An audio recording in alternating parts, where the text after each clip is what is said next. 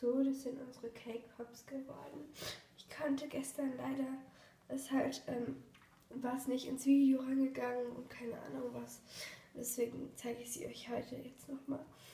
Also das sind unsere Cake Pops geworden. Also wir haben so zu Spießen haben wir sie verarbeitet, weil wir fanden das dann eine lustigere Idee. Und genau,